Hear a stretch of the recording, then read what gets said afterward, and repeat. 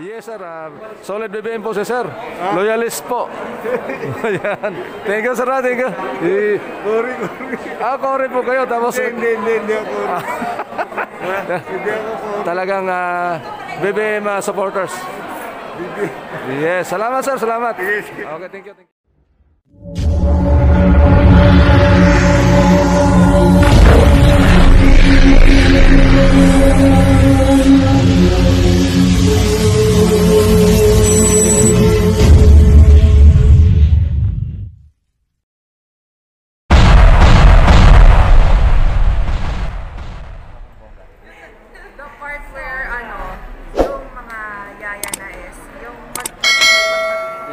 Yes, yung mga- Yeah, ah, Yan yes. yung mismo masakit sa akin. Parting lines na yun. Yes, oo. So yun yung parang um, gumimbal sa inyong puso, Yes. no?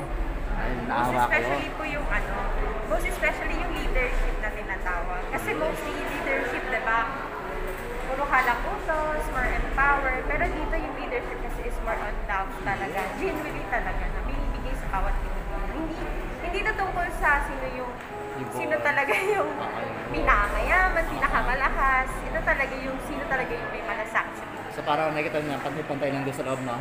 Yup, talaga, totoo. Yung pagmamahal Hindi siya, oh, hindi siya naging talaga sa I don't think they, ano, they created the movie para, alam mo yun, siraan yung kabila. Siguro it's more of, um, ipakita yung side nila, which is hindi mali. Kasi all this time, yung isang side lang yung nakilala. Makikita natin. Oo. So this time, it's their, their, their side naman of the, of the story. Which is, uh, to be fair, and more, I, I would say, ano siya, more, ano, mas nakakapaniwala, nakakapanipaniwala. So, For ma'am, ha- have you noticed na hindi sila nagsabi na against sa No, yeah. Wala man, di ba? Wala naman, Wala, wala di po. ba? Wala narinig, di ba? Ano lang po, uh, the truth will set you free. Yup, and Yes. yung mga clips naman is really doon sa original clip eh. Walang edited and all. Yes, Diba? May mga ano talaga. So, kayo, uh, ay, mga mga tanong kayo. Ano ba? ah, Ano ang masasabi niyo sa mga kabataan ko na iba pa rin yung sinasabi against Yeah, siguro ano nga, um, aside from the the books, di ba? Which is, um, wala, hindi ko naman sabihin kung uh, edited and all, pero um, siguro they need to uh, dig deeper. Mag-research sila, have their own research. Kung ano nga ba talaga nangyari nung, nung, During nung nangyari Marcos before. Right? Siguro, um, pakinggan din natin yung mga time, mga taong buhay that time kesa sa libro. Lang.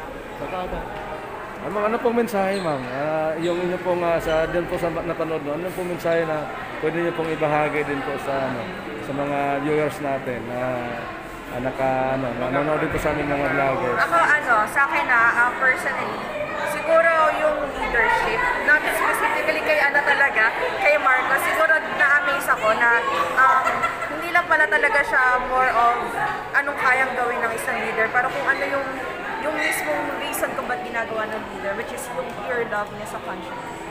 Hindi yung dahil gusto niya lang and all. Gusto niya ng power. Gusto, dahil mahal niya yung bansa.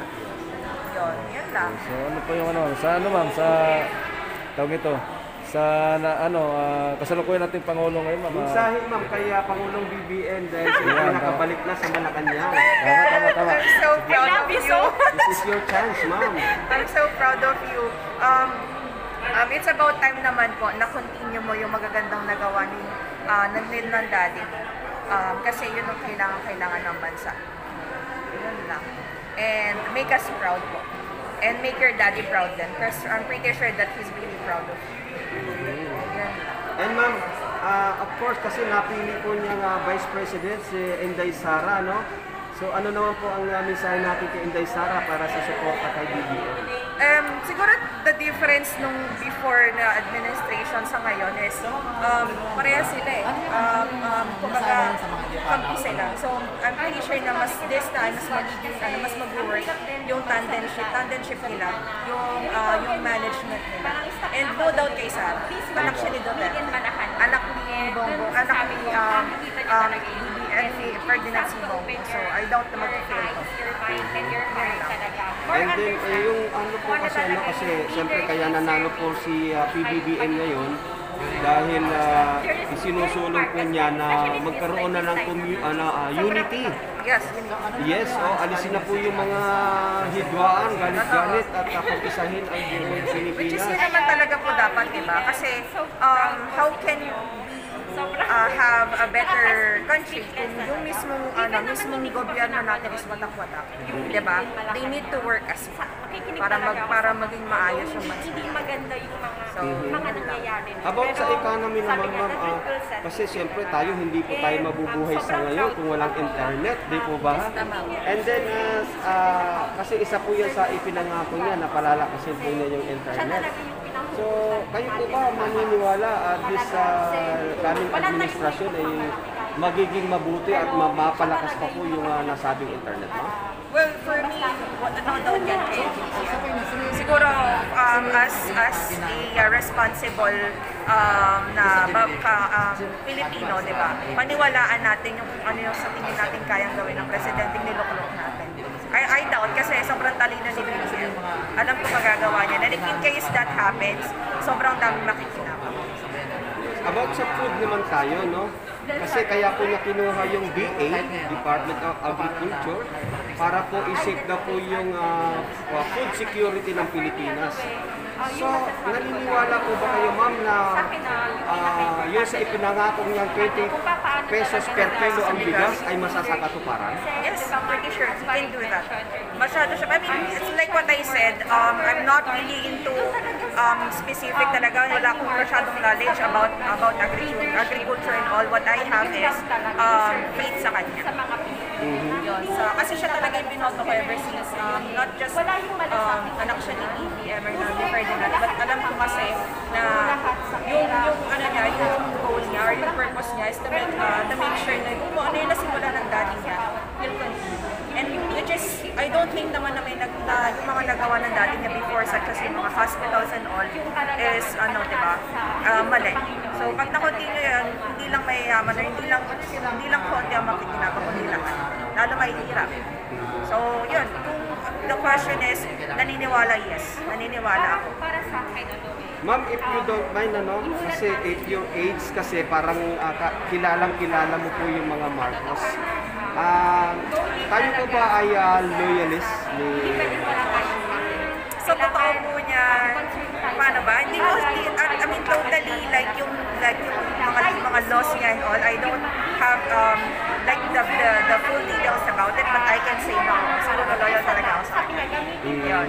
And I don't think uh, anyone can change that. mabuti. Yes. Yan, yan lang naman. Ma'am, maraming maraming salamat sa pag-share sa amin ng iyong ano ha.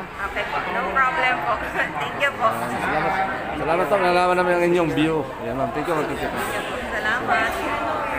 kanila, ano, meron silang movie, that's fine. Hindi naman natin kailangan maging against, hindi natin kailangan mag-against naman. So, ma'am, ilang taon ka na? Pa? Ilang taon ka na? 25 po. 25 na. Mukha lang ah, pong okay. 19. Mukhang bata nga. So, ayan. So, pasupport naman po ng aking channel kahit yung aking sticker yung makamasa. Sige po. Para po makaroon po yung uh, ano, Yan. Grabe po mga idol. No? Ang babata pa po ng, ah, ano, ng mga nakausap po natin. Pero ganun po sila ka, ano, ganun na po kalawak yung kanilang ano, yung kanilang ah, pananaw about sa ano, about sa kanilang ah, napanood, yung kanilang ah, mga reaction. Kaya mga mensahe po ng mga pelikula po na kanilang napanood. Yan po mga idol, kabin, mga kabin. Ayan po mga idol, ah, dalawang ano, dalawang pinto po yung ano nagkikater ng ano, ah, Made in Malacanang. Ito po yung ano, Cinema 1 tsaka yung Cinema 2. Ayan, so umpisa na po ng ano, ng palabas. Ah, ah, Kevin RTP, uh, interview ni kayo. Okay sir, ah, magandang hapon po sa inyo. Sir, ah, ano po yung ano sir, napanood niyo po yung pelikula sir? Oo, Ano yung Okay, ano pong mensahe sir doon sa pelikula na inyo pong ah, napanood?